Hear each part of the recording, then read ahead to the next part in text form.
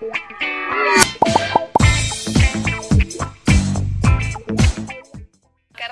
അഭിപ്രായം പറയാറുണ്ട്. പക്ഷെ നമുക്ക് ഭാഗ്യം കൂടി വേണം സിനിമയിൽ നിൽക്കാണെന്ന് വിശ്വസിക്കുന്ന ആൾ തന്നെയാണ് ഞാൻ. അപ്പൊ അതുകൊണ്ട് വീണ്ടും ചിത്രത്തിലേക്ക് ചിത്രത്തിൽ അഭിനയിക്കാൻ പറ്റുമെന്നൊന്നും ഒരു പ്രതീക്ഷ അങ്ങനെയൊന്നും ഉണ്ടായിരുന്നില്ല.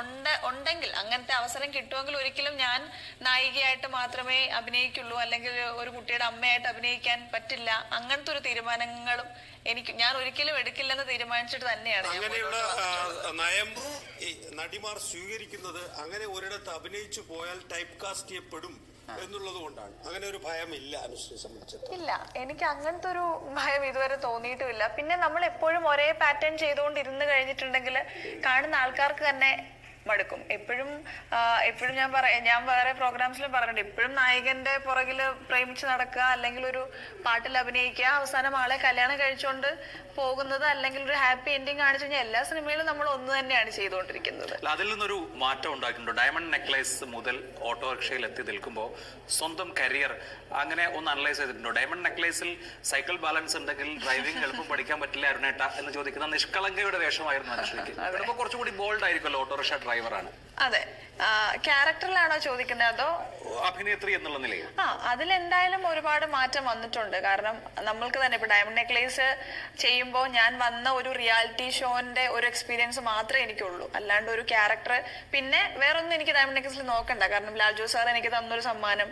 എനിക്ക് കഥ പോലും കേൾക്കണ്ട. അല്ലെങ്കിൽ ഞാൻ എന്താ ചെയ്യേണ്ടതെന്ന് എനിക്കറിയില്ല. സാർ പറയുന്നു അതനുസരിച്ച് ഞാൻ പ്രവർത്തിക്കുന്നു എന്ന് മാത്രമായിരുന്നു. പക്ഷെ ഇപ്പോൾ ഒരു കഥ കേൾക്കുമ്പോൾ ഓക്കെ ഞാൻ ചെയ്താൽ നന്നാകുമോ? അല്ലെങ്കിൽ പ്രശ്നമാകുമോ അല്ലെങ്കിൽ വേണ്ട ഇത് ചെയ്യണ്ട എന്ന് തീരുമാനിക്കാനുള്ള ഒരു കഴിവ് ഈ ഒരു അല്ലെങ്കിൽ അങ്ങനത്തെ ഒരു ഇത് ഈ ഒരു നാലഞ്ച് വർഷത്തിനുള്ളിൽ അങ്ങനെ വേണ്ട എന്ന് വെച്ച കഥാപാത്രങ്ങളുണ്ടോ? ഉണ്ട്.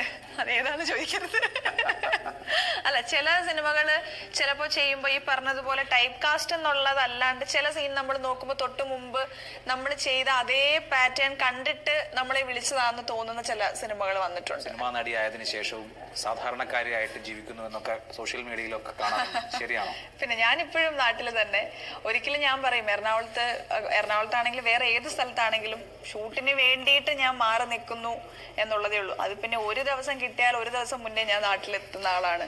എനിക്ക് തോന്നുന്നു എന്റെ കാര്യങ്ങളെക്കാൾ ഉപരി നാട്ടിൽ എന്തെങ്കിലും ഉത്സവമോ വല്ല പരിപാടിയോ വന്നാലായിരിക്കും ഞാൻ ലൊക്കേഷൻ ബാലഗോകുലത്തിന്റെ ശോഭായാത്രയിൽ ഭാരത മാതാവായിട്ടുണ്ടായിരുന്നു അനുശ്രീ. അതെ.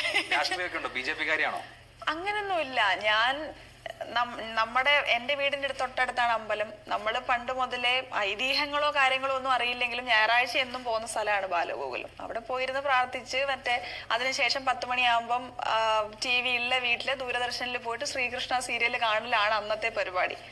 സോ അന്ന് മുതൽ ഞാൻ ഒരുങ്ങിയിട്ടുള്ള ആളാണ് ശ്രീകൃഷ്ണ ജയന്തിക്ക്. അന്ന് നമ്മൾ രൂപം മാറുന്നതിനനുസരിച്ചും ശരീരം വളരുന്നതിനനുസരിച്ചും നമ്മൾ അതിലെ ഓരോ ക്യാരക്ടേഴ്സ് മാറുന്നു. ഓരോ ചിലപ്പോൾ മുരുകനായിരിക്കാം ചിലപ്പോൾ പാർവതി ആയിരിക്കാം ചിലപ്പോൾ രാധയായിരിക്കാം അതേപോലെ ഭാരതാംബ ആയിരിക്കാം. അതേപോലെ സിനിമയിൽ വന്നതിന് ശേഷം ഞാൻ എനിക്ക് അങ്ങനെ പറ്റിയിട്ടുണ്ടായിരുന്നില്ല. ഒരു വർഷം ഭാരതാംബ ആകാം